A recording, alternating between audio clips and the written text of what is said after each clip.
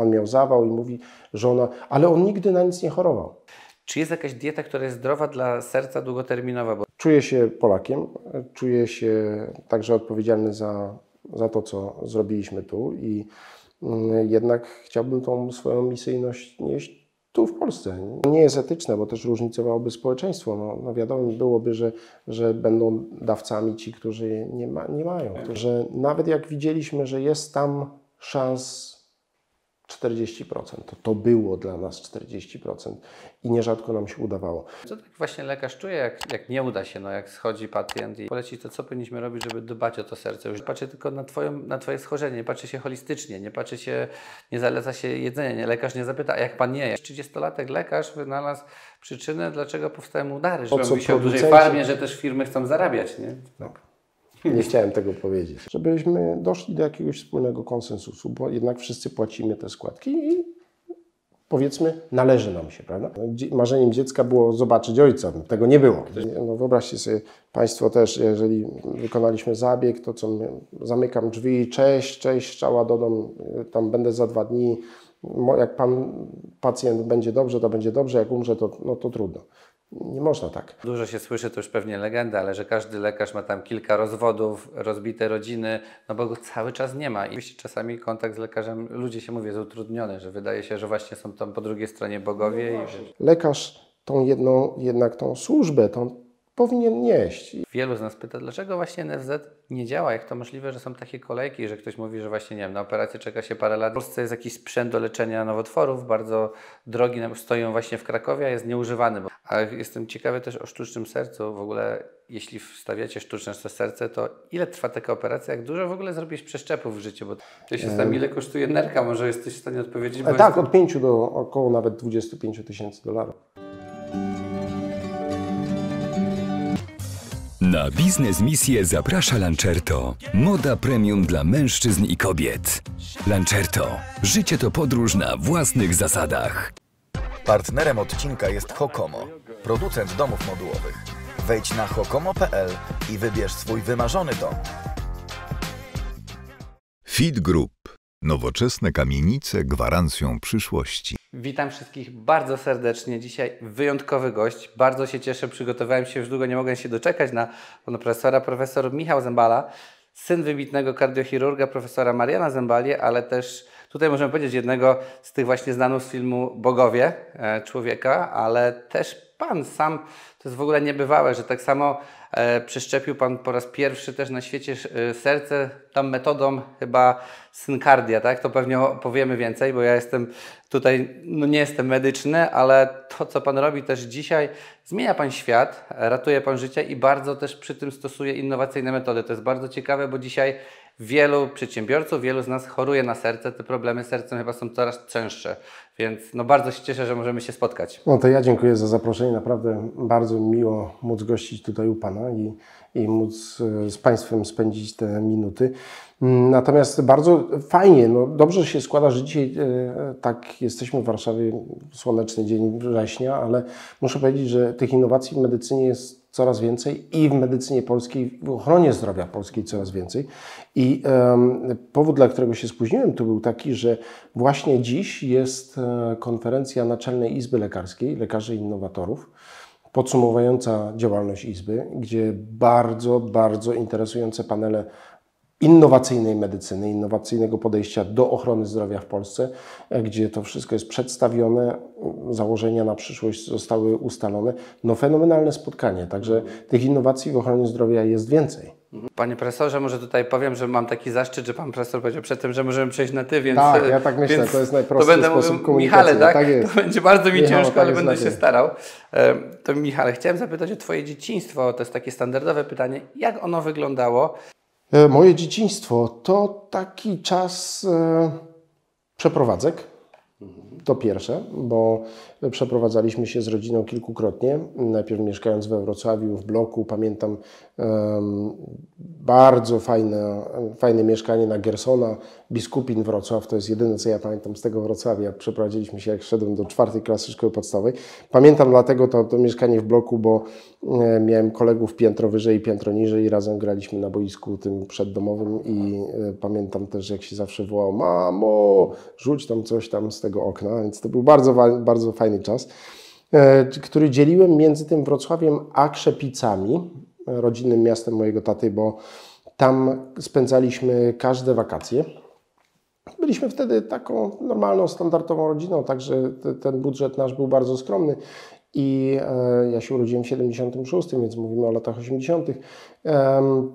I w Krzepicach spędzaliśmy każde wakacje. Całe dwa miesiące wraz z siostrą. Rodzice zostawali w domu, pracowali, a mm, ja z siostrą u babci całe bite dwa miesiące spędzałem.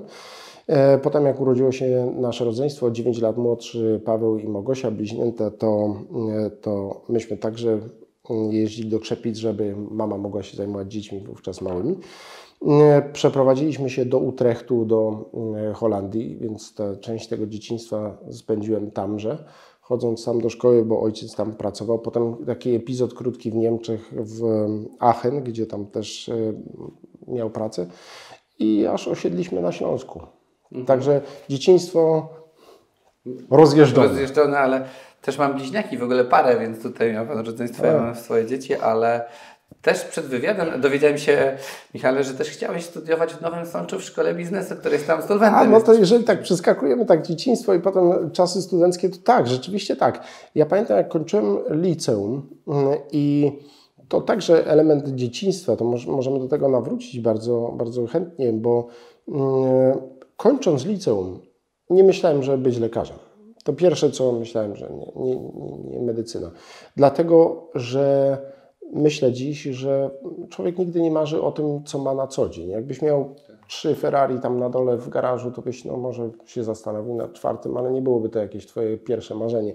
Więc jak e, ja miałem lekarza w domu, lekarza, którego właściwie nigdy nie było, więc nie marzysz o tym, żeby pracować dzień i noc, żeby właściwie cię nie było. No, marzeniem dziecka było zobaczyć ojca. Tego nie było. Ktoś mówi, że właśnie w tych no dużych biznesach nie ma rodziców i ludzie, dzieci nie chcą nie chcą. kontynuować, bo tego brakuje. I, I, myślę, że podobne podwaliny mojej decyzji były. I, I, chciałem zobaczyć zupełnie inną drogę. Wtedy e, w Nowym Sączu powstała szkoła, której ty jesteś absolwentem i jak wydawało mi się, że ten kierunek jest fajny, że ten biznes że może ja się w tym sprawdzę, będzie to kompletnie coś innego. I ja zdawałem na maturze um, historię, myśląc o tym, żeby właśnie startować na prawo i, i, do biznesu. No tak to się potoczyło, że na, na, to prawo się nie dostałem. Poszedłem na biologię, żeby uciec od wojska. Wtedy był taki czas kategoria A, więc byłem a bez żadnych paragrafów, więc taki spadochroniarz komandos. Mhm. I e, poszedłem na biologię. Tą biologię robiłem cały pierwszy rok i przygotowywałem się spokojnie do egzaminów na, na medycynę. Głównie nie po rozmowie z ojcem, bo on nie namawiał. A nie miałeś jakiejś takiej presji, że no nie, nie, nie, nie, nie, nie, nie. Może bardziej ze strony mamy, no wiesz co, no zobacz, no ojciec naprawdę robi wielkie rzeczy, niż ze strony jego. No też pamiętaj, że ojca nie było, więc jakiej presji to wy, wywoływać jakieś wielkie nie mógł. Ale e, muszę powiedzieć, że największy wpływ chyba na moją decyzję miał wujek, brat e, taty, wujek Mirek, który był chirurgiem, czynnym e, chirurgiem i chirurgiem ogólnym. Był, był, jest dalej, bo e, Mirek żyje, jest teraz na, na emeryturze, ale fantastyczny człowiek, także myśliwy, co, co dla mnie to było istotne, bo ja wróciłem ze Stanów Zjednoczonych jako myśliwy, więc mieliśmy sporo wspólnej, wspólnych tematów i Mirek właśnie mówi, że to jest takie życie, że można jednak łączyć tę pasję do myśliwstwa, do lasu z medycyną, że nie jest to tak, żebym sobie nie myślał, że ten świat wygląda tak, tak jak u Mariana. Nie, on wygląda trochę inaczej. To był właśnie no ten dzisiaj, target. Też dzisiaj się patrzy, to rzeczywiście, tak jak święty pamięci Twojego taty, to raczej większość lekarzy dużo pracuje. Raczej nie mają tego życia, jak się gdzieś tam widzi te przypadki, szczególnie jak się dużo osiąga. E, ale w ogóle jak Ty, powiedz mi, czułeś się w Pradze właśnie będąc trochę u boku legendy, no wielki, już nie mówiąc, e, wszyscy, cały świat mówił o, o Was, o tych oddziałach i czy Ty miałeś, byłeś jakoś tak doceniany? Mi się, zawsze próbuję sobie wyobrazić, jak to jest, jak ja bym pracował z tatą. Pewnie no nie za łatwo by było. No to trudnego pytania dotykasz, bo, mm, bo to nie było proste. E, po pierwsze dlatego, że już od studiów i po studiach i to pewnie i Ty i znacie Państwo historię, jak to się wszystko skończyło. Natomiast e, zawsze było to tak, że może zawsze to taki trudny wyraz, ale zwykle środowisko postrzegało, że jednak miałem jakoś łatwiej, że ktoś mi dopomógł, że coś tam było, bo ojciec, no nic bardziej mylnego. Ojciec zawsze zawsze stawiał tą poprzeczkę wyżej i tym bardziej mówił, słuchaj, no będą tak mówić, więc musisz stanąć na głowie, żeby udowodnić swoją robotą, swoją jakimś wysiłkiem, że, że to jest Twoja praca. A nawet jak będą mówić mimo tej pracy, to nie należy się tym przejmować, bo przynajmniej sam dla siebie stojąc przed lustrem powiesz, że to, że to było uczciwie zrobione. Więc e, to było trudno i um, nieraz e, jak występowaliśmy razem na jakiejkolwiek konferencji czy spotkaniu, to mm, zdałem sobie sprawę pewnego dnia, że nie należy wręcz, nie należy próbować doścignąć tego człowieka, bo tego się nie da zrobić to raz. Ja to nawet publicznie powiedziałem kiedyś na jakimś wykładzie, że nie da się tego zrobić. Ktoś mnie zaanonsował jako w zastępstwie pana profesora Mariana Zembali, przyjechał syn i właśnie powiedziałem, że nie da się tego. Ja nie jestem w zastępstwie, nie da się go zastąpić, nie da się go dogonić. Więc trzeba było wytworzyć jakąś swoją drogę i, i e, myślę, że do końca pokazaliśmy, że to on był twarzą e, tego miejsca, tego szpitala. On był tym duchem, tym liderem szpitala. Ja byłem tym, tą mróweczką, takim robotnikiem. Ja robiłem, on, on myślał. O tak to możemy tak uprościć. No ale to wszystko, co się dzieje dzisiaj, to zaraz też do tego przyjdziemy, no to to nie sądzę, żeby to była mrówka. Myślę, że to jest też talent jakiś wrodzony, też pewnie przekazany w genach. Bo... Nie, nie, to taka duża mrówka. Znaczy duża, no jak mrówka może być duża. E, mrówka, no, mrówcza robota. Dobra, przejdźmy dalej. A powiedz mi, bo powiedziałeś na początku, że dużo właśnie, no nie miałeś tego taty i to jest dzisiaj bardzo popularne, że jak ktoś chce coś mieć, się dorabia, no to no nie ma dzisiaj czasu. Często obydwie rodziny, e, obydwie osoby pracują w domach, dzieci nie mają tego kontaktu. Jak to jest u Ciebie? Czy Ty pracujesz po 24 godziny, zaniedbujesz inne rzeczy, czy jest czas na bliskich, na jakieś relacje, na rodzinę? Nie, no, znasz historię moją. Ja pracowałem w Zabrzu przez e, długi czas, 15 lat prawie, tam 4 lata byłem e, kierownikiem oddziału do 2022. Mm, I szczególnie te 4 lata, to przypadło na to czas COVID-u, także to rzeczywiście mnie nie było w domu. I. Mm, Dziś z perspektywy tego e, czasu, tego co się stało, e, nie wyobrażam sobie, żebym mógł to powtórzyć. Oczywiście to trudno dzisiaj mówić, że zrobiłbym inaczej, ale dziś, kiedy, kiedy nie pracuję tak intensywnie, jak pracowałem kiedyś e, i kiedy mam kontakt z dziećmi moimi, a moje, moja córka ma 9 lat, mój młodszy syn ma 5, no to kontakt mamy e, bardzo, bardzo bliski i właściwie jak mnie nie ma dwa dni, to już one tęsknią bardzo. Więc e, mm, to nie było dobre. To nie było dobre. Myślę, że e, ta część społeczeństwa, która nie chce tak pracować dzień i noc i jakiś ten work-life balance wybiera, słusznie robi. Musi być jakiś balans. Musi być balans między pracą a, a życiem prywatnym i to musi być tak trochę on-off. To znaczy zamykam drzwi tam, zamykam drzwi tam. Um, bardzo trudno mi się to mówi, bo będąc lekarzem i to jeszcze będąc lekarzem kardiochirurgiem, transplantologiem, wykonując transplanty, nie można było tego telefonu wyłączyć. No bo jednak, jeżeli ten pacjent, no wyobraźcie sobie Państwo też, jeżeli wykonaliśmy zabieg, to co, zamykam drzwi, cześć, cześć, czała dodam, tam będę za dwa dni, jak pan pacjent będzie dobrze, to będzie dobrze, jak umrze, to, no to trudno. Nie można tak. Więc e, nawet jak człowiek wrócił po całej nocy pracy, no to ledwo wróciłem, to miałem telefon od jednej pielęgniarki czy drugiej, że ten pacjent jest ok, albo coś jest nie tak i trzeba wrócić, no to człowiek siadał i wracał, bo jedna, jedno powikłanie albo jakiś inny problem, albo z innym pacjentem coś się działo. Więc e, to, to, jest, to było tak absorbujące. Dlatego tyle czasu ja tam spędzałem. Oczywiście im bardziej sprawny zespół, sprawny, decyzyjny, kompetentny e, i pracujący w zaufaniu, tym bardziej można polegać na tym, żeby jednak było to pewną całością. ale to trzeba wypracować. To, do tego potrzeba czasu, żeby to powstało. Zdecydowanie myślę, że powinieneś być taką inspiracją dla innych lekarzy, bo ja też widzę, mam znajomych gdzieś, szczególnie młodych lekarzy, no to naprawdę oni 24 godziny na dobę często poświęcają rodziny i później, no bardzo dużo się słyszy, to już pewnie legenda, ale że każdy lekarz ma tam kilka rozwodów, rozbite rodziny, no bo go cały czas nie ma i to jest też tak, już nie mówiąc ze względu też cierpi pewnie jego zdrowie. Ja myślę, że to, to, to jest sporo prawdy w tym, co mówisz, ale też e, myślę, że bardzo wiele różnych etapów życia lekarza można tu wydzielić. Od takiego rezydenta, który rzeczywiście zarobek jest bardzo niewielki jeszcze człowiek jest młody, wtedy musi spłacić jakiś kredyt, jeden, drugi, chce czymś jeździć, chce mieć mieszkanie. Wszystkie te rzeczy, które są powszechne, prawda? Chcemy mieć dobra, chcemy jeździć na wakacje, musimy na to zarobić, więc e, ten młody lekarz, ja pamiętam jak jako młody lekarz też zarabiałem 1500 zł. I to też e, miałem dyżurów chyba z 10 czy 12, no, co, co drugi dzień. E, Tylko po to, żeby mieć, prawda? Co innego jest lekarz dojrzały, który może wygospodarować czas, bo jeżeli uzyskamy już pewien standard życia, no to, no to powiedzmy sobie szczerze, no to niekoniecznie trzeba mieć więcej. A czymś innym jest zapotrzebowanie rynku. Jeżeli lekarz jest dobry i ma naprawdę wielu pacjentów, to jeżeli on chce nieść pomoc, no to będzie niósł pomoc niezależnie od, od pory dnia, prawda? I to się też zdarzało, że pacjent dzwoni, jakiś ktoś dzwoni, ktoś oczekuje pomocy. No to nie powiem mu, że panie, no jest sobota, zadzwoń tam w poniedziałek o ósmej. Tylko rozmowa jest telefoniczna, pomoc jakaś konkretna. I to jest pewna naturalna taka, taka część misyjna, powiedzmy, tego zawodu. Tak, bo cieszę się, że są tacy lekarze coraz więcej, bo ja też, tak jak mówiłem, znamy się dobrze z profesorem Janem Podgórskim, pozdrawiamy go, no i też jak się przychodzi na wizytę, to on nie wypuści, jak trzeba operować, szuka miejsca, próbuje załatwić. Nie ma tak, że Cię zostawi na lodzie i to jest takie rzeczywiście misja. Więc to zależy bardzo od człowieka, zależy bardzo od lekarza. Jeżeli, I to nie jest wymierne finansowo, prawda? To nie jest coś, za co, za co ten lekarz ma zapłacone. On po prostu chce nieść pomoc. To jest super, to jest piękne.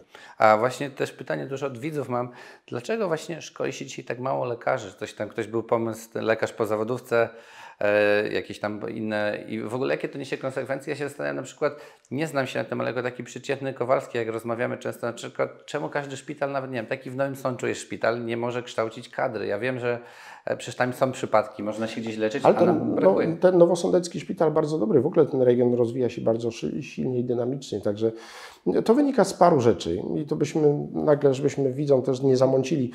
Pierwsza rzecz y, podstawowa to, czy szpital spełnia warunki akredytacyjne, żeby szkolić. To znaczy, no, żeby on szkolił, to musi spełnić określone kryteria, prawda? musi mieć określony wolumen chorych, musi mieć określone procedury, więc jeżeli spełnia, to może się ubiegać o akredytację i może szkolić wtedy.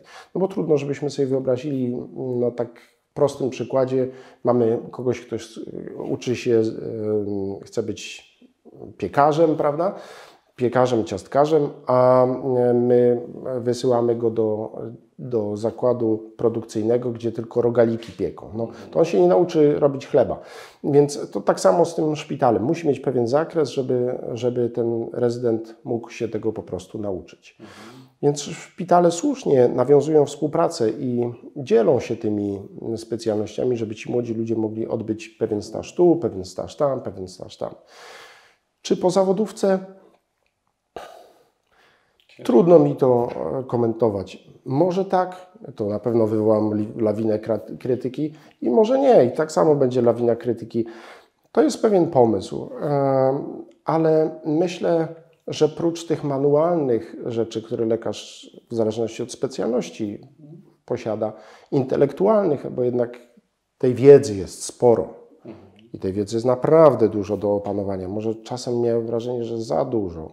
Jednak te lata studiów, 6 lat studiów plus rok stażu to jest ogromny czas, który ten, ten młody człowiek poświęca na naukę zawodu. Mm, To jednak jest coś, czego żadna z tych szkół nie uczy i, i gdzieś musimy znaleźć miejsce, żeby tego człowieka tego nauczyć, albo przynajmniej jakoś mm, no nie chcę powiedzieć wyselekcjonować, ale sprawdzić, zobaczyć, to jest pewna postawa etyczna. To jest pewne zachowanie, które ten, ten człowiek, ten lekarz, jednak jestem zdania, może tu jestem taki oldschoolowy w tym, powinien mieć, żeby mieć empatię dla pacjenta, żeby mieć takie poczucie misji, żeby mieć pewną taką dobrą, dobrą formę komunikacji z pacjentem, z chorym w końcu człowiekiem. Coś, co raczej no jest dziś zapominane, prawda? Te wiele szkół medycznych uniwersytetów nie uczy tego, nie, nie promuje tego. Powinno się jednak e, Tak, do tego wrócić. Psychologiem, z tą rozmową, bo rzeczywiście czasami kontakt z lekarzem, ludzie się mówią, jest utrudniony, że wydaje się, że właśnie są tam po drugiej stronie bogowie. No właśnie, a to źle. To źle. Jestem wciąż zdania, że lekarz tą jedną, jednak tą służbę, tą powinien nieść. Ja wiem, że ludzie się burzą, służba zdrowia, prawda, ochrona zdrowia teraz mówimy, ale to jest rodzaj służby. No jakby nie było, to jest rodzaj służby drugiemu człowiekowi. Tak, Pomoc. No właśnie, jeśli jesteśmy przy tej służbie zdrowia, to wielu z nas pyta, dlaczego właśnie NFZ nie działa? Jak to możliwe, że są takie kolejki, że ktoś mówi, że właśnie, nie wiem, na operację czeka się parę lat i pewnie niektórzy nie dożyją. E, I bardzo często tak jest, że właśnie ktoś szuka znajomości i tylko mówi, jak masz znajomość, to jest szansa, że się dostaniesz szybciej. To jest takie smutne, że dzisiaj e, no, cierpimy, płacimy jakieś składki, dużo osób mówi, może prywatyzować, no nie ma na to jakiegoś tam pomysłu, może czy ty wiesz, co można by było zrobić, co w ogóle, i dlaczego te kolejki, jak możemy usprawnić ten system cały? Wiesz co, trudno mi odpowiedzieć na to dziś tu siedząc w studiu, nie dlatego, że nie chcę, może też dlatego, że jesteśmy trochę przed wyborami, żebyśmy nie byli oskarżeni, że agitujemy albo w jedną, albo w drugą stronę. jesteśmy anty tutaj. Jesteśmy raczej na neutralnym gruncie. Natomiast to, co chcę, chcę Tobie powiedzieć i Państwu powiedzieć, z czym się podzielić, to, to mm, muszę Wam powiedzieć, że mm, przez ostatnie lata, z 10 lat, e, mam przywilej jeździć e, po świecie, uczyć e, kardiologów, kardiochirurgów na całym świecie, od Filipin e, przez Azję, mm, Bliski Wschód, e, całą Europę i w drugą stronę do Ameryki. I, i obserwując te różne systemy ochrony zdrowia, muszę powiedzieć, że w Polsce nie jest źle.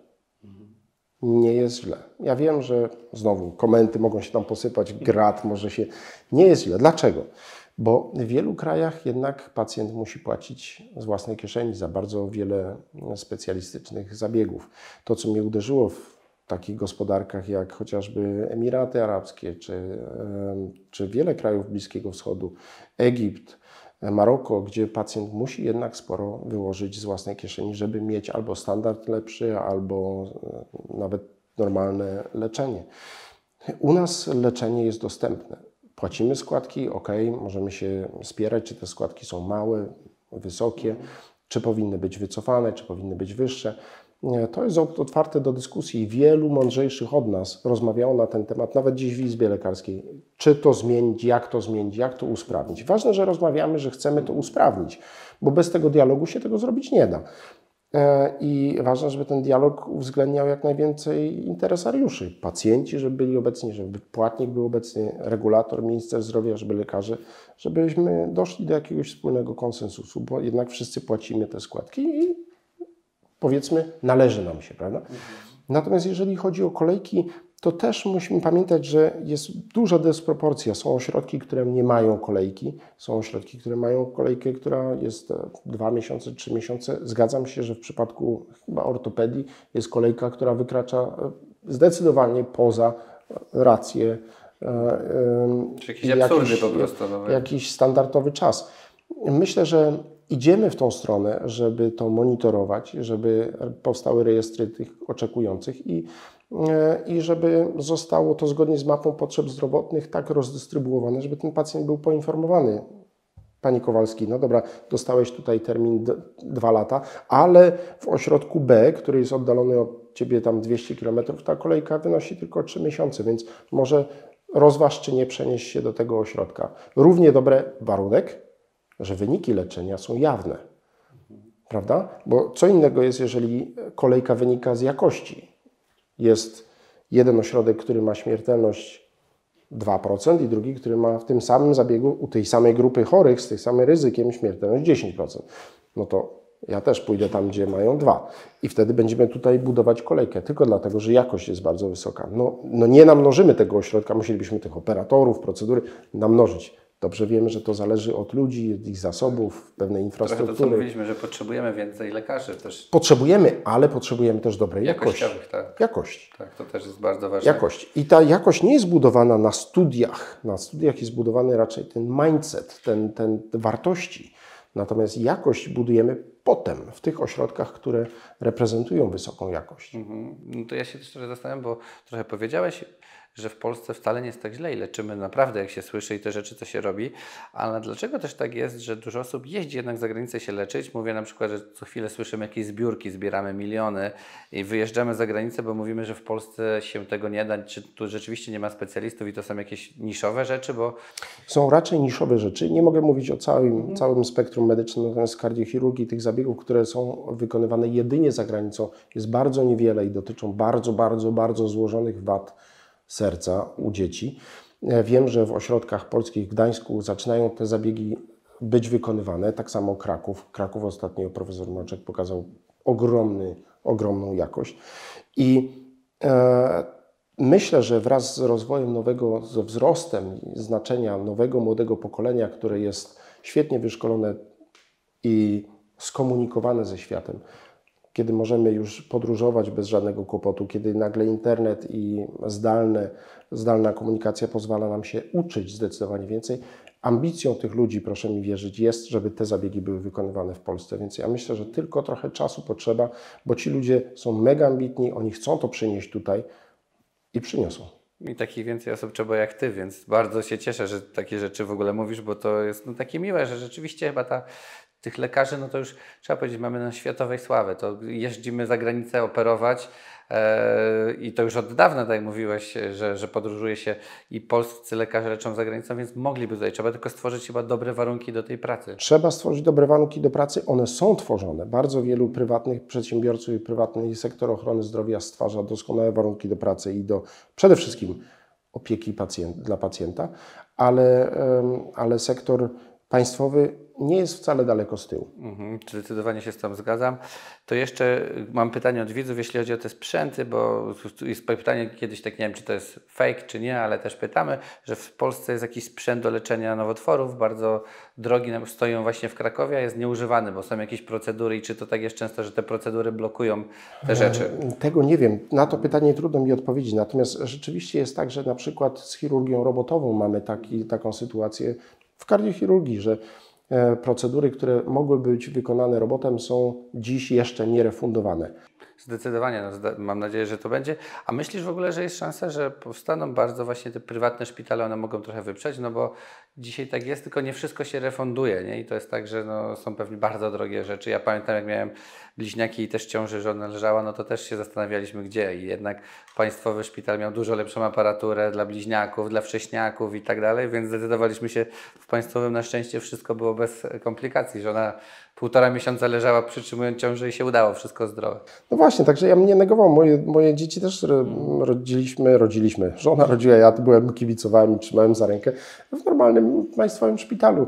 Ja jestem zdania, że jednak to powinniśmy dbać o, tą, o to, co publiczne. To są nasze środki, nasze pieniądze. Ty- Tym bardziej powinniśmy dbać. Powinniśmy naprawdę mm, być odpowiedzialni za to. To zależy także od liderów, którzy są postawieni na szczycie tych szpitali. Czy taka osoba ma pewną wizję, ma pewien, pewną ambicję, żeby ośrodek przez niego kierowany był jednak na takim poziomie topowym, Mam nadzieję, że Także- to jest ważne, żeby szkolić tych liderów, nie? żeby ich właściwie wybierać. To też zdecydowanie tak. E, Dobra, idziemy trochę do serca, bo to jest też takie bardzo dzisiaj ważne. Powiedz, dlaczego dzisiaj coraz więcej młodych osób choruje na serce, w ogóle osób i dlaczego tak jest? Co na to w ogóle wpływa, że słyszy się, ja też gdzieś miałem podwyższone ciśnienie, teraz ćwiczę i w ogóle staram się, ale Wiesz co, może nie tyle choruje, bo myślę, że populacja chorowała w równym stopniu, tylko my coraz częściej o tym mówimy i coraz częściej to wykrywamy wcześniej. Kiedyś nie. Kiedyś się dowiadywaliśmy, jak nasi rodzice chorowali, że zawał miał, to, to dość typowe rozmowy z pacjentem e, na dyżurze na przykład, że pan miał zawał i mówi żona, ale on nigdy na nic nie chorował. A pytanie następne lekarza jest, a czy kiedykolwiek zmierzył sobie poziom ciśnienia albo cholesterolu? Nie, nie, nigdy. No ale też mu nigdy go nic nie bolało. Więc my dziś, młodsze pokolenie, zdecydowanie częściej jest świadome tego, że jednak te choroby są, że one są cywilizacyjne i powinniśmy zdecydowanie wcześniej je starać się wykryć. To bardzo dobrze. To, mi, to co Ministerstwo Zdrowia teraz, ja nie chcę agitacji żadnej robić, ale te, te programy profilaktyczne, to co profesor Banach, no, to co Maciek mówi na temat hipercholesterolemii, w jaki sposób ona zagraża naszym, naszemu młodemu społeczeństwu, to jest istotne. Więc sama świadomość już sprawia, że my zdecydowanie częściej to wykrywamy. Ja, I to mówię z własnego podwórka. Ja także dziś na urodziny 45 zrobiłem sobie pomyślałem, co to może człowiek może sobie na te 45 urodziny, 45, potem następne 50, 55, co to może sobie człowiek na te urodziny zażyczyć? Rodzina pyta, co ty chcesz na te urodziny. Mówię, to nie mam pojęcia, to kupcie mi przynajmniej panel badań w laboratorium. No to mi kupili panel badań w laboratorium, poszedłem, okazało się, że cholesterol mam wysoki, że ciśnienie mam e, trochę wyższe, no i ja zacząłem brać statyny. Potem e, po konsultacji z lekarzem rodzinnym i specjalistą, no i beta bloker na ciśnienie i teraz następny czek będzie zaraz, czy to wszystko działa. Bez tego nie wiesz. Tak, i może być za późno. No to bardzo ciekawe. A czy rzeczywiście tak jest, że stres powoduje właśnie problemy z sercem? Mówi się, że nawet i nowotwory i tak dalej. Czy ty też tu wiesz? Tak, ale potrzeba. Tak, tak, tak. I to badania pokazują. Maciek Banach zdecydowanie to ostatnio nawet o tym mówił e, w panelu dyskusyjnym na Europejskim Towarzystwie Kardiologicznym. Niesamowity człowiek i niesamowita wypowiedź. Więc są badania, które pokazują, że rzeczywiście tak jest. I powinniśmy sobie wziąć się do serca, że brak aktywności fizycznej tak samo jak i dieta, tak samo jak i nawyki nasze mm, i używki na to zdecydowanie wpływają. Mhm. Czyli co mógłbyś, jakbyś mógł polecić, to co powinniśmy robić, żeby dbać o to serce już dzisiaj? Czyli mamy ten sport, mamy, czy jest coś jeszcze, co możemy... Profilaktyka raz, mhm. szczególnie jesteś, jeżeli, jeśli jesteśmy w grupie ryzyka, to znaczy wiemy, że ktoś, prosta sytuacja, wiemy, że ktoś w rodzinie chorował na serce, zmarł nagle, zmarł młodo, prawda? Coś było nie tak. Jak prześledzimy historię, że aha, dziadek też zmarł, jak miał 40 lat, no tam ktoś jeszcze też miał problem, to może z nami jest coś nie tak, może nasze geny są nie tak, może powinniśmy tym bardziej na to zwrócić uwagę, więc profilaktyka, screening i um, zdrowy, zdrowszy tryb życia. Mhm. Ruch przede wszystkim. Ruch, prosty ruch. Tak, ja wiem, bo przez to, że siedziałem przy komputerze, robiłem te wywiady, pracowałem w korporacji, właśnie kręgosłup, mięśnie głębokie padły, przepuklina pękła i straciłem czucie w nodze, więc to tak właśnie też wiem. Także te interwencje nie są jakoś bardzo skomplikowane. To nie jest tak, że mówimy pacjentom, że musi pacjent zrobić tam codziennie 100 pompek, 100 pompek 20 przysiadów i podciągnąć się na drążku 15 razy, ale chodzi o proste, delikatne zmiany naszego stylu życia. Jeżeli mieszkam na, mam 50-60 lat, mieszkam na trzecim piętrze, to może idę schodami, a nie windą, prawda? To już jest pewien ruch. Mam kościół, czy żabkę, czy kino, idę tam, nie jadę. Tak, dzisiaj rzeczywiście jesteśmy wygodni. No dobrze, a powiedz mi, jakie są w ogóle według Ciebie takie najbardziej spektakularne innowacje w dziedzinie kardiologii? E, co jest przełomowe, bo właśnie wiem, że i czy to w ogóle się sprawdza? Dzisiaj gdzieś czytałem przed chwilą, przed wywiadem, że jakiś 30-latek lekarz wynalazł przyczynę, dlaczego powstają udary, że to jest od serca coś z tyłu, jakaś kieszonka. Nie wiem, czy to przed chwilą to czytałem dosłownie, to pokażę, więc jakiś Polak 30-letni, ale pytam też dlatego, na przykład jak miałem operację ten kręgosłup, to Wiele mówi, wiesz to, można endoskopowo, można to, ale to nie działa. Lepiej jak Ci otworzymy, wyczyścimy dokładnie i będzie. Jest metoda, która jest stara, więc trochę się chciałem zapytać, jak to jest naprawdę i też w kardiologii. E, kardiologia idzie bardzo do przodu. Kardiologia i kardiochirurgia prą do przodu bardzo mocno. Tej technologicznej przełomów jest sporo. I rzeczywiście coraz więcej innowacji, które zmierzają do tego, żeby coś robić mało inwazyjnie, żeby ten uraz operacyjny minimalizować. Przez skórnie nieraz, czyli już bez nacinania klatki piersiowej. Mm, więc tych innowacji jest bardzo, bardzo sporo. Mają one moim zdaniem dwa ograniczenia. Pierwsze to jest wciąż nie wiemy, czy w długofalowej obserwacji są one lepsze. Potrzeba czasu, żeby jednak zobaczyć, czy, czy mm, dany sposób leczenia jest bezpieczny, skuteczny i przynosi korzyść w długoterminowej obserwacji. Bo jeżeli wymieniamy komuś zastawkę, to nie po to, żeby tam za rok ją tak, wrócił. No, wrócił. Tylko to ma działać. Ma działać 5, 10 lat, 15 lat, najlepiej 20 lat. Tego nie wiemy. To jest ludzki organizm. Bardzo wiele czynników wpływa na, na żywotność tych urządzeń. I, a do tego potrzeba czasu. I dwa, cena, którą nierzadko producenci tych urządzeń, e, za którą oferują e, zastawki, czy w przypadku kardiologii, czy e, urządzenia do mechanicznego wspomagania krążenia, które, których ciężar, finansowy ciężar musi płatnik udźwignąć. Więc to są takie dwa potężne, mm, dwie potężne mm, rzeczy, z którymi się dziś zmagamy. Pierwsze to jest, e, czy to działa w długoterminowej obserwacji i dwa, że cena jest jednak wysoka. To wynika też trochę z faktu, w jaki żyjemy my, bo nie wiem, czy Ty pamiętasz, ale ja pamiętam, że mm, czy u Ciebie było podobnie, że mój ojciec jak kupił Audi 80, jak przyjechał z Holandii, to był rok 85, to kupił wtedy Audi 80. Bez wspomagania, pamiętam, granatowe, takie To był na osiedlu najlepszy samochód. Najlepszy samochód, bo wcześniej Tak, mieliśmy. Poloneza białego, a tu kupił Audi 80. Szał kompletny. Następnego dnia odkręcono mu koła, no ale to już dobra. Y, Ale jak pamiętam, że ojciec mówił wtedy, że on to kupił, bo już potem go nie będzie stać na to, to raz, a dwa, że to jest auto na całe życie. Kiedyś dominowało w nas takie przeświadczenie, że kupujemy coś na całe życie, prawda? To auto miało, to jeździliśmy tymi beczkami, Mercedesami, bo one były na całe życie. Ale one były rzeczywiście tak były robione. na całe życie. Tak, do dzisiaj. Ale dzisiaj to się zmieniło. Tak. Dzisiaj kupujemy samochody, które już wiemy, że za 5 lat go oddamy. Tysięcy miałem problem, żeby zrobić. Tak jest. Dzisiaj kupujemy telefon i za rok jest następny model. I my wymieniamy ten telefon, już nas nie obchodzi, czy ta bateria trzyma, czy nie.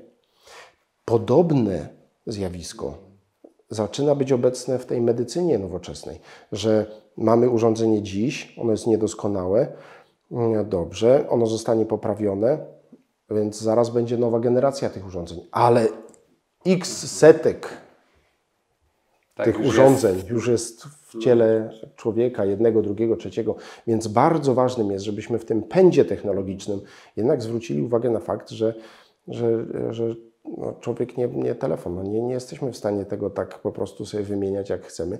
Musimy jednak dbać o tą jakość, żeby, żeby mieć pewność, że to, co oferujemy pacjentom, będzie u nich działać na długo, żeby oferować techniki, Dobrej technologie, tak. które są sprawdzone. To jest w ogóle ciekawy temat, który poruszyłeś, no bo tak jak mówiłeś, nawet ten przykład tego auta. Jak to się stało, że w 1985 roku potrafili robić coś, co jest na całe życie? Minęło tyle lat, a my nie potrafimy robić czegoś, co jest na całe życie, a szczególnie w medycynie, bo to, w ogóle tu już powinno iść tutaj ten postęp. Myślę, że medycyna chciałaby bardzo, żeby to było na całe życie, ale ty, ty postęp generacji kolejnych i to, To, co mówi się o dużej producenci... farmie, że też firmy chcą zarabiać, nie? Nie chciałem tego powiedzieć, ale Tak, ale no niestety no, e, trochę tam biznesu jednak jest. to jest smutne, bo fajnie jak nawet taka rzecz, jak mówisz, mogła być na całe życie, a po życiu mieć jeszcze e, ponowne użycie, że jakaś ta część mogłaby być wyciągnięta i dalej. To by było w ogóle taka, tak jak dzisiaj się mówi, moda na recykling i tak dalej, ponowne użycie, więc miejmy nadzieję, że ktoś, ja się zastanawiam, bo dzisiaj jakby firma powstała, która by tak robiła, to byłaby gigantem, bo by wszyscy tam odeszli. nie? Dlatego bardzo duży nacisk na profilaktykę, żeby jednak zapobiegać bardziej niż leczyć, na genetykę i terapię genową, żeby jednak te defekty, które prowadzą do choroby, można było zawczasu usunąć. A jestem ciekawy też o sztucznym sercu. W ogóle, jeśli wstawiacie sztuczne serce, to ile trwa taka operacja? Jak dużo w ogóle zrobisz przeszczepów w życiu? Bo to jest niebywała. No, To, to dwie różne rzeczy, bo sztuczne serce i sztuczne komory to takie mechaniczne urządzenie, które wspomaga albo wspomaga to pompa, a sztuczne serce zastępuje serce e, natywne. Ale to są urządzenia takie tymczasowe, które przez jakiś czas wspomagają to, to serce. Szczególnie to sztuczne serce, rozumiane jako dwie pompy, które całkowicie zastępują natywne serce. I myślą producentów było, żeby ratować pacjenta, który oczekuje na transplantację serca, ale już czas mu się kończy. Że mamy pacjenta, który ma ciężką obukomorową, prawa, lewa komora jest niewydolna, chory praktycznie żyje tylko i wyłącznie dzięki wspomaganiu leków czy jakiegoś innego urządzenia mechanicznego i pogarsza się, a dawcy dla niego nie ma. To sztuczne serce jest wtedy dla niego takim pomostem do tej transplantacji, prawda? Czyli on ma pierwszą operację, sztuczne serce pozwala mu stanąć na nogi, Wrócić do życia. wrócić tak. do życia z ograniczeniem potężnym, bo jednak ma baterię, bo ma urządzenie, ma pewien dyskomfort, ale on dotrwa do transplantacji. Przedłużamy mu to życie o 5, 6 miesięcy, 8, 10. A ile ty w życiu w ogóle wykonałeś transplantacji? Transplantacji e, dużo, tak, proszę określić skalę. około 300. Wow, to, że, czy uratowałeś 300... To jest spory, spora populacja chorych. E, śmiertelność, którą mieliśmy, to wahała się około 10%, jak pamiętam, więc musimy z tego odjąć te osoby, których nie byłem w stanie pomóc. Ale też e, muszę powiedzieć, że pracując e, z fantastyczną grupą anestezjologów, asystentów lekarza, pielęgniarek i rehabilitantów, e, E, Zawsze staraliśmy się pomagać osobom chorym najciężej, najtrudniej. Nigdy nie odmawialiśmy, zawsze te drzwi były otwarte, zawsze ten telefon dzwonił. Tak, w ogóle się mówiło, że do Was trafiają najcięższe przypadki z całej Polski, co nikt nie chciał się podjąć. Tak, bo e, realizowaliśmy misję mojego ojca, żeby ratować, leczyć i dawać nadzieję. Że nawet jak widzieliśmy, że jest tam szans 40%, to było dla nas 40% i nierzadko nam się udawało. E, Więc e, wiele z tych przypadków było pierwszych albo takich ocierających Chyba pierwszy na na... świecie sztuczne serce to syn Cardię, tak? Pierwszy w Polsce myśmy implantowali. Na świecie było tych przypadków bardzo dużo, ale też Warszawa implantowała zaraz po nas, więc tych implantacji później było. Natomiast e, zawsze staraliśmy się pomóc. Nigdy nie odmówić, nigdy nie odmawiać. Ale to jest bardzo ciężkie. No, a powiedz mi właśnie takie trudne pytanie, ale też ludzie pytają, co tak właśnie lekarz czuje, jak, jak nie uda się, no jak schodzi pacjent i jak ty się czujesz no, po takiej operacji, no bo to trzeba mieć cholerną siłę, żeby później wrócić i dalej robić. E, To prawda. Myślę, że to dotyczy wszystkich specjalności e, zabiegowych, gdzie mm, człowiek jako operujący ma poczucie, że jeżeli jest to osoba odpowiedzialna, co zakładam i z pewną taką, taką, takim wglądem w siebie, że jednak zawsze zastanowi się, że coś mogłem zrobić lepiej, że zawsze jest moment takiego wahania, że może mogłem to zrobić inaczej, może gdzieś popełniłem błąd i człowiek zaczyna analizować wszystkie te kroki, zrobiliśmy to, zrobiliśmy to. Bardzo dobrze, jak jest zespół ludzi, którzy wiedzą, że ta, ta porażka to nie jest porażka jednej osoby, bo współdecydujemy wszyscy, współleczymy wszyscy, którzy opiekujemy się tym pacjentem. I mamy świadomość, że mogliśmy to zrobić być może troszeczkę inaczej, być może troszeczkę lepiej, być może tu zawiedliśmy, ale najczęściej muszę Ci powiedzieć, że jak siadaliśmy potem po, po takim zabiegu czy po takim procesie leczenia, bo te, bo te porażki nie zdarzają się na sali operacyjnej, one się zdarzają zazwyczaj po, bo pacjent wychodzi z zabiegu i mija dzień, dwa, trzy, pięć, tydzień, że ten zespół mówi, że słuchajcie, tak naprawdę spójrzmy na to, co zostało zrobione i zrobiliśmy wszystko zgodnie ze sztuką. Zrobiliśmy wszystko zgodnie z e, najlepszą wiedzą i najlepszą naszą intencją. Po prostu tak, tak musiało być. Chory był skrajnie ciężki, skrajnie trudny i nie mieliśmy tu szans. No, całe szczęście, że tak mówisz, 90% ludzi się udało wyleczyć, żyją i są szczęśliwi. Nie mówiąc, no każdy film Bogowie też ogląda właśnie tym, jak ciężkie są operacje, bo to są chyba też wielogodzinne, nie? Tutaj też trzeba mieć kondycję do takiej operacji. Tak, to są zabiegi A wielogodzinne, najdłuższa ale właśnie, jaką pamiętasz, to ile trwała? bardzo skomplikowane potrafią trwać cały dzień. Zwykle te zabiegi odbywały się w nocy, więc całą noc. Nieraz mieliśmy jeden zabieg po drugim, więc to taki to sporo, sporo pracy.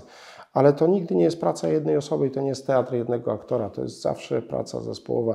Ważne, żeby ten zespół był kompetentny. No, to jest coś, czego, czego trzeba zawsze szukać. To jest coś, trzeba zawsze tworzyć. Trzeba mieć takich ludzi, którzy chcą się uczyć, ale co ważne i myślę ważniejsze, ludzi, którzy chcą zmiany, chcą dążyć do doskonałości. To znaczy, mają świadomość, że to, co wiedzą dziś, to może nie zawsze jest. Tak, ta Alfa pokora jest bardzo potrzebna dzisiaj, nie? Że- Więc ważne, żeby mieć świadomość, że ja umiem, potrafię, ale zawsze dawać sobie jakieś 20% na to, że jednak ktoś może być lepszy. Tak, to nawet pacjenci mówią, jak szukają lekarza, to patrzą, czy pracuje gdzieś w szpitalu, czy gdzieś jest, no bo często jest tak, że lekarz chwilę tylko był, otwiera prywatną praktykę i już praktycznie mówią, że się nie doszkala. Nie wiem, ile w tym jest prawdy, ale często się tak zdarza, że jednak jak ktoś na co dzień przeżywa i robi to, no, no to jest chyba dużo bardziej, y, wie przynajmniej co się zmienia, jak się te rzeczy dzieją, przypadki co się dzieje. Mhm. A czy kiedyś myślisz, że wyhodujemy serce, które właśnie zastąpi to mechaniczne, bo cały czas się mówi jakieś te świ- No właśnie, wie, wiesz o tym, że te, to świńskie serce zostało mm, przeszczepione człowiekowi z dużym sukcesem i kolejne eksperymenty, takie, tak to nazwijmy, będą prowadzone na pewno. I to dotykać będą nie tylko serca, ale i nerki, trzustki. Więc bardzo dobrze. No, myślę, że tego nie, nie unikniemy. Ważne, żeby zrobić to e, etycznie, co jest niełatwe e, i w zgodzie, w jakiejś harmonii z e, szerszym gronem odbiorców. To serce biologiczne jestem zdania, że zawsze będzie lepsze niż mechaniczne. To tak, może tak, tak bardzo mocno o tym mówię i słowo zawsze jest znowu tym kwantyfikatorem takim bardzo Ale silnym. i jak jedzenie naturalne też versus przetworzone wszystko. Ale mimo tego, że technologii udaje się stworzyć dzisiaj pompy, które są naprawdę dobre, to jednak w perspektywie 5, 6, 10 lat serce ludzkie z tymi pompami wygrywa. Więc jeszcze ta technologia nie jest tak doskonała. Jeszcze, Wciąż dużo do zrobienia. jeszcze wciąż do zrobienia. To jest bardzo ciekawe. Liczymy na to, że ktoś to odkryje, że trzymamy kciuki, że Polacy, między innymi ty, że będą te rzeczy, bo to jest naprawdę no, ratowanie życia, no nie ma ceny, to jest bezcenne i tak jak mówisz, to jest taka misja, że później chyba, tak jak mówisz, te 90 przypadków, w których się udało, no to jesteś chyba najszczęśliwszy na świecie, bo jak widzisz te osoby, które później przychodzą, żyją, no to chyba nie ma cenniejszego daru takiego, jaki masz. To prawda i to tak, to tak wraca. Są osoby, które dzwonią, które piszą, że właśnie minęła piąta rocznica, jak żyję, a nie żyłbym. Która wspominają o tym, że, że jednak byłam w bardzo ciężkim stanie, a sporo Waszej pracy zostało włożone w mój ratunek. To tak bardzo buduje i to pomaga przezwyciężyć te, te negatywy. A jeszcze chciałem Cię zapytać o tym w ogóle, czy jest w Polsce, bo to też się mówi mity, nie mity, handel narządami, bo właśnie ludzie mówią o tych nerkach chyba najbardziej popularnych. Ja mówię trochę z uśmiechem, bo jakiś widz jeden napisał, że właśnie nieraz jak czegoś brakuje, to pisze sprzedam nerkę, żeby coś kupić. Są już mity nawet i, i, i ludzie się z tego śmieją, ale trochę tak jest, nie? Czy, jak, czy rzeczywiście to istnieje? E, Wiesz co, przygotowując się ostatnio do wywiadu o, u doktora Kaweckiego, zgłębialiśmy ten temat handel narządami i muszę powiedzieć, że, e, że mocno wczytałem się w to, o czym nie wiedziałem, że rzeczywiście ten rynek istnieje. Ja żyłem w przekonaniu, że jest to raczej mało możliwe, bo jednak pracując w dziale transplantologicznym e, w Polsce, nigdy, przenigdy się z tym nie spotkałem. I Nie było tak, że ktoś podszedł, proszę, pojedzie Pan z nami nie, wieczorem. nie, będziemy- nigdy. To jest tak, do, tak dobrze funkcjonujące. Oczywiście można to poprawić sporo rzeczy można by tam poprawić, natomiast transparentność tego procesu w Polsce jest bardzo, bardzo duża i, i mogę z całą odpowiedzialnością powiedzieć, że nigdy nie miałem do czynienia z takim, takim zjawiskiem handlu w Polsce. Natomiast tak, w Iranie na przykład jest to dozwolone. W Indiach jest niepewne, w Chinach zupełnie nie wiadomo, co, co się dzieje. Więc szczególnie nerki są tym organem, który jest e, na tym czarnym Poszukiwany. rynku poszukiwany. Ja się zastanawiam, ile kosztuje nerka, może jesteś w stanie odpowiedzieć? E, Tak, jestem- od 5 do około nawet 25 tysięcy dolarów. Okej, czyli jak chcecie kupić samochód, to to wcale nie jest dużo, czy mieszkanie, No. oddając tą nerkę, także zastanowić się. Więc, a, ale w Polsce nie jest to Nie, nie jest to legalne i dobrze, myślę, jest że to jest dobrze, bo bardzo... są szpitale i myślę, że to powinni robić profesjonaliści. bardzo dobre, bo, bo to mogłoby bardzo sporo nadużyć jednak wyindukować. Tak, a poza tym ci pacjenci by trafiali do szpitala naszej służby, no bo tak jak mówisz, to nie, Nie, jest to- u Was sukces jednego człowieka, a sztabu ludzi. To nie jest etyczne, bo też różnicowałoby społeczeństwo. No, no wiadomo byłoby, że, że będą dawcami ci, którzy nie, ma, nie mają, którzy są biedni, prawda? A korzystaliby znowu ci, którzy mają bardzo dużo, na, na których na to stać. To nie jest właściwe, to nie jest słuszne. To zdecydowanie to się zgadzam. E, chciałem Cię jeszcze zapytać, co w ogóle myślisz o takim trendzie? Trochę widać odsuwania się od takiej meta, e, medycyny konwencjonalnej, szukania porad u właśnie medy, przy ludzi, którzy zajmują się przykład medycyną e, chińską, e, różnymi ziołami. Czasami mówią o procedurach leczenia biorezonansami. Jak to w ogóle, co ty, czy Ty w ogóle jakiś korzystałeś? Co o tym sądzisz? Bo Nie, ja nie korzystałem. A to jest bardzo ciekawy temat, bo e, może dlatego, że ja jestem takim, takim liberałem. Ja to jak najbardziej rozumiem, bo gdybym ja dziś odpukać miał chorobę X, która, e, która nie może być leczona w taki czy inny sposób, to sam bym szukał rozwiązania. Więc dla mnie zrozumiałym jest, że pacjent, który ma rozpoznanie trudne, powiedzmy nowotworu albo jakiejś innej choroby, która widać na horyzoncie koniec, to będzie szukał. Będzie szukał takiego rozwiązania, takiego rozwiązania, takiego. Ważnym jest w tym, żeby nie padł ofiarą oszustwa. Prawda? Bo, bo po drugiej stronie może być oszust, który powie, no ja tam przyłożę magnes i pan wy, zapłaci mi milion monet i pan na pewno za dwa lata będzie zdrowy. To jest złe. E, ale e, wiele osób, z którymi rozmawiam, opowiada mi o tym, jakie są takie tradycyjne metody chińskiej medycyny i opowiada to z uznaniem i to są osoby naprawdę światłe. Tak, i ja mogę powiedzieć, że profesor jedna ze szpitala ratowała znajomą chyba z choroby Jakobsa Krona i gdzieś jakieś e, z Tybetu, nie chcę tutaj mówić, ale to chyba kordycep się nazywał i też poleciła jako jako taki środek nieformalnie trochę i rzeczywiście ta osoba do dzisiaj jest zdrowa, więc... No właśnie, więc pamiętajmy, że bądźmy otwarci na to, mhm. Ale bądźmy ostrożni też. Mhm. No bo to, to jest trochę też pytanie, że ludzie mówią, że też lekarze powinni trochę się uczyć tych ziołolecznictwa przynajmniej, no bo kiedyś zioła leczyły, nie? Gdzieś i Chyba zapominamy o tym. Może zapominamy, może powinniśmy pamiętać, że penicylina to także naturalny antybiotyk, tak. prawda? Też to kiedyś e, było zbierane i robione no dużo się gdzieś tam mówi o tych wszystkich leczniczych teraz rzeczach, które coraz bardziej, no może to działać Pytanie, czy ktoś to będzie zależało właśnie tym firmom na badaniu, bo to się mówi, że z jednej strony tanie. Ja, ja, ja tak osobiście myślę, moje zdanie, że jest pewnie wiele ścieżek dojścia do wyleczenia, że to nie jest tak, że jedno wyleczy Dokładnie. jakieś schorzenie. Więc bądźmy otwarci, bądźmy ostrożni, bo jest mhm. bardzo dużo tak, oszustów. To jest najgorsze, że coraz trudniej uniknąć, bo na tym też właśnie ci oszuści widzą biznes, że... No niestety. Tak, tak. mówisz, ja, ja, sam jak gdzieś szukałem przy boreliozie leczeniu, to jakiś pan dał trawę, okazało się, że i powiedział pięć paczek, każda jest inna uleczy, a później sąsiad gdzieś jak wjeżdżałeś, mówi, że on zbierają przy domu i to jest no, takie siano, więc... Także to jest, to, ten rynek jest chyba większy niż rynek e, tych narządów, o których mówiliśmy. Chyba no. tak, zdecydowanie. A powiedz mi jeszcze odnośnie diet w ogóle, czy ty jakimś stosujesz i czy jest jakaś dieta, która jest zdrowa dla serca długoterminowa, bo coraz bardziej się mówi, jest moda dieta keto, diety... Ja nie jestem ekspertem. Cholera, muszę Ci powiedzieć, że ja w ogóle nie jestem, nie będę się na to wypowiadał, bo na pewno są i bardzo dobrze, że są dziś w Polsce wykształceni dietetycy kliniczni, bo do tej pory zapominaliśmy o tym, że taka specjalność istnieje i ten dietetyk kliniczny był traktowany w szpitalach jako taki, taki, roz, taki człowiek od rozwożenia jedzenia.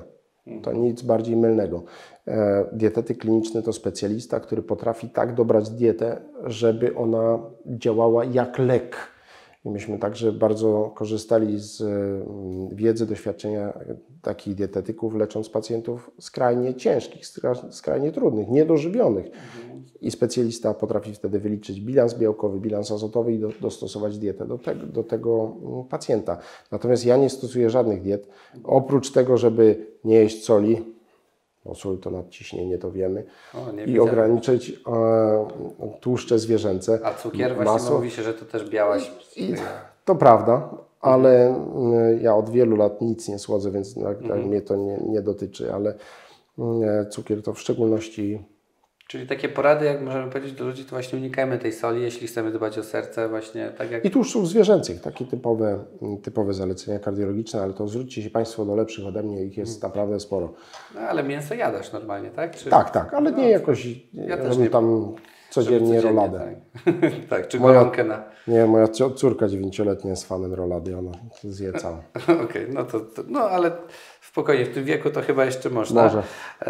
To jeszcze chciałem Cię zapytać odnośnie tej kardiologii w ogóle. Jeszcze raz przepro szybko przeproszę Cię, bo wielokrotnie zdarza się, e, że pacjent dostaje w wypisie w Polsce, że dostaje w wypisie dieta śródziemnomorska, zalecenie dieta śródziemnomorska. No, no to ja apeluję teraz do lekarzy, którzy generują te wypisy, że przynajmniej napisali, co znaczy dieta śródziemnomorska, bo zalecenie komuś diety śródziemnomorskiej, komuś, kto jadł cały czas kluski i, i mielonego, jest dość takim mało trafionym pomysłem, bo sobie pomyślę, co... Tak. Znaczy, to jest też chyba fajne, że teraz... Trzeba to wytłumaczyć. Trzeba wytłumaczyć i jak Ciebie słucham, to bardzo ci, dobrze, że ci lekarze też coraz bardziej się edukują, bo tak jak mówi, że idzie się, dawniej tak się mówiło, idziesz do lekarza, patrzy tylko na, twoją, na Twoje schorzenie, nie patrzy się holistycznie, nie patrzy się, nie zaleca się jedzenia, nie, lekarz nie zapyta, a jak Pan nie, jak Pan sobie radzi. Dzisiaj chyba to jest też takie ważne Tak, w tej profilaktyce. Ale ważne też, żebyśmy dostrzegli rolę dietetyku i właśnie jeżeli lekarz nie ma kompetencji co do tego, no to też nie ma się co wstydzić, że tego nie umiem. No ja to właśnie Państwu powiedziałem, że ja tego nie znam.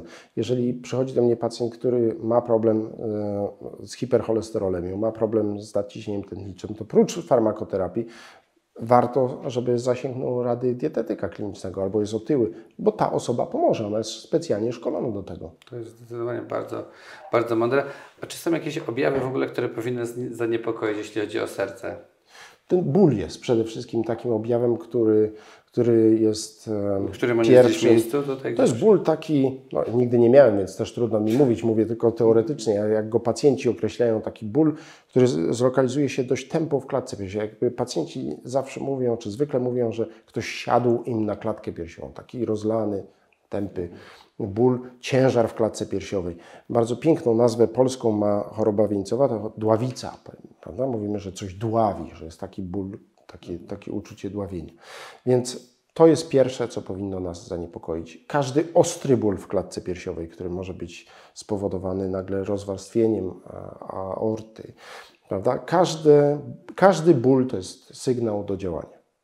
Czy on się zdarza przy wysiłku, czy on się zdarza bez wysiłku, czy pojawił się nagle, czy pojawił się na skutek bardzo wysokiego ciśnienia. Ja przykład miałem takie bóle tutaj, ale lekarz stwierdził, że to jednak stresowe, bo na szczęście tam jakieś echo serca nie pokazały. No więc ważne, żeby potem wykonać zbadać. całą diagnostykę. Od prostego EKG po bardziej złożone echo serca, czyli USG, po e, test wysiłkowy, żeby zobaczyć, czy to serce funkcjonuje dobrze i czy jest zbudowane dobrze. Mhm, to jest bardzo ważne, to, to chyba dla wszystkich widzów.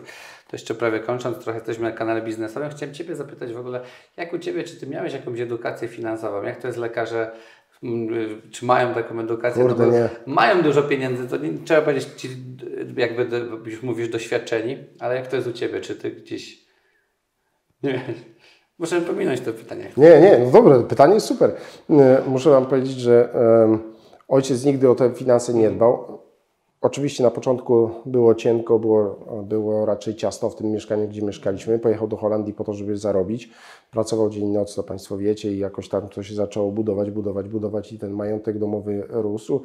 I mm, ojca nigdy nie było w domu, więc nigdy nie wiedział, co ile kosztuje. To mama zajmowała się finansami i taki, taki to był system raczej niekredytowy, czyli rodzice taki, taki old school preferowali, że jak naskładam te 10 zł, to wtedy kupię, a nie, że wezmę kredyt na 10 i kupię. Więc y, jak jechaliśmy gdzieś na wakacje, to raczej jechaliśmy do, pod jakiś namiot, a nie do wypasionego miejsca. I więc ja nie miałem też wzorca, żeby, żeby mm, pewnej takiej finansowej biegłości nabyć. Żałuję, bo, bo dzisiaj widzę, że można byłoby różne decyzje finansowe inaczej prowadzić. Więc nie, ja nie mam żadnej i trochę powielam ten schemat.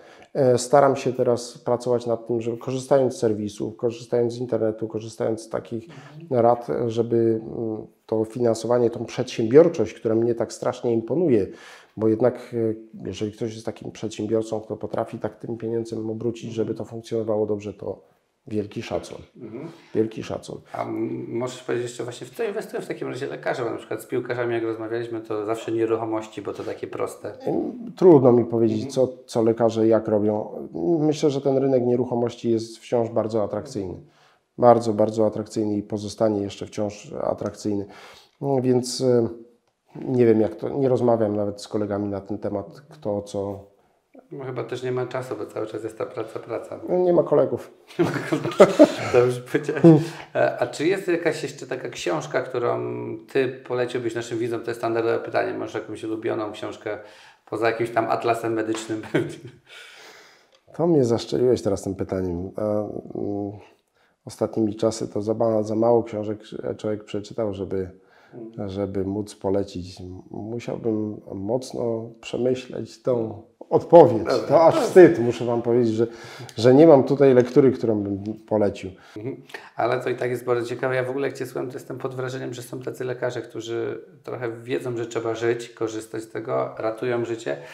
No ale to też, ale to, przepraszam, ale to też e, zrozum, że ja jestem teraz bez pracy, bez pracy w Polsce. Ja pracuję głównie za granicą, więc mam sporo czasu, żeby to robić. A Więc jeśli byś dostał ofertę, to byś wrócił do pracy tutaj w Polsce? e, bardzo bym chciał wrócić do pracy w Polsce, bo uważam i dlatego tak odsuwam od siebie jedno i odsuwałem jedną i drugą propozycję pracy za granicą. Teraz e, kolejna otwarła się i też jesteśmy na etapie z żoną decyzji, czy wyjeżdżamy, czy nie. Bo czuję się Polakiem, czuję się także odpowiedzialny za, za to, co zrobiliśmy tu i mm, jednak chciałbym tą swoją misyjność nieść tu w Polsce, niekoniecznie za granicą. Pacjent jest pacjent. Oczywiście dzisiaj pracując za granicą mam kontakt z tą medycyną świata. E, I tak samo z wdzięcznością reagują pacjenci mm, na Bliskim Wschodzie, muzułmanie i tak samo osoby na Filipinach. I rozmowy z nimi są fantastyczne, i rozmowy z rodziną są fantastyczne, szczególnie jeżeli tam cała rodzina przychodzi i z takim naprawdę podziękowaniem zwraca się do lekarza, do zespołu leczącego. Więc to jest takie bardzo budujące, ale e, ja się czuję Polakiem, ja chcę robić to tu. Nie, ja jestem w ogóle w szoku i nie mogę to przejść, przejść przez w ogóle myśli, jak może być lekarz wybitnej światowej sławy, który nie biją się wszyscy, żebyś był, bo to naprawdę coś jest nie tak w tej Polsce. Narzekamy na lekarzy. Znaczy I- myślę, że to jest kwestia tego e, bardziej środowiska niż e, systemu. To myślę, że to, to, to z tego wynika. No ale wiesz, dla dobra ludzi to chyba nie powinno być podziałów i to politycznych, i społecznych, i, w, i w, właśnie w branży To- medycznej. To myślę, że taką łatkę osoby trudnej do współpracy mnie przyszyto. Nie wiem dlaczego oczywiście, bo może, może ta trudność wynika z tego, że człowiek wymagał. Jak wymagał, no to wymagał. Jak ja dawałem z siebie 200%, to nie oczekiwałem, żeby ktoś wymagał, robił 200%, ale niech zrobi 80%. No, rozumiem. Nie widać po tobie tego specjalistę i, i tutaj nie wiem, Więc, apel, jak e, można wpłynąć, to powinien, no i to nawet nie ma dyskusji, to jesteś wybitnym człowiekiem. To, to, to ja jestem zwykłym, naprawdę. Wybitnym to jest za duże słowo. Ja jestem zwykły gościu, który, tak jak mówiliśmy na początku, pracował po prostu bardzo dużo. E, I, i tą pracą, myślę, tam doszedłem tam, gdzie doszedłem i spadłem stamtąd, z czego spadłem. Ale no może wierzę, że będzie inaczej. Są pewne plany. Nie chcę zapeszać. Zobaczymy, ale nie chciałbym wyjeżdżać, to na pewno. Nie, na pewno. Czy, trzymamy, będziemy za Ciebie. Ostatnie pytanie, czy jest coś, co Ty byś chciał przekazać widzom? E, Tak, jeżeli mam okazję, to super skorzystam. Bardzo dziękuję Ci za to. E, To ja wrócę do tego, o czym mówiliśmy, żeby zadbać o tą profilaktykę. Bo tego nigdy nie za dużo. Żeby rzeczywiście sobie zrobić prezent. Jak nie sobie, to zrobić prezent bliskiej osobie. Zafundować ten pakiet badań. On nie jest taki tani, bo mówimy o badaniach, które kosztują laboratoryjnych 200-500 zł, nawet chyba pakiety do 1000 zł, które badają i markery nowotworowe, i e, hipercholesterolemię, prawda? Żeby jednak wiedzieć. I zróbcie sobie Państwo takie odstępy od 40, no. 40, 45, 50, potem już częściej. Mamografię, kolonoskopię. Dbamy o samochód, robimy przeglądy, jak tylko się wyświetli kontrolka, jadę. No to czemu nie zadbać o swój własny wehikuł, który ma nas nieść 80 lat, chcemy żyć. No to dajmy mu szansę, wymieńmy te opony chociaż raz. Michał, co ja chciałem powiedzieć, wspaniały z Ciebie człowiek, bardzo Ci dziękuję Ja Tobie dziękuję, bardzo Życzę dzięki. dalszych sukcesów. Mam nadzieję, że się spotkamy. Ja już będę chciał, żebyś się poznał z dyrektorem Zawsze. Szkoły Biznesu też, bo to A chętnie miło- tam wrócę, bo ja stałem wtedy pod tą szkołą i pamiętam to jak dziś, to był fajny czas, aż to miło, że to przypomniałeś. Bardzo Nie no, dla nas to jest miło. Dobrze, że zostałeś kardiochirurgiem, bo jesteś naprawdę wybitny. Pewnie do szkoły biznesu zawsze można jeszcze iść i skończyć, więc Fajnie byłoby. trzymamy kciuki. Dziękuję. Wszystkiego Bardzo, bardzo dziękuję, dziękuję Tobie, dziękuję Państwu za uwagę, dziękuję. Dziękuję.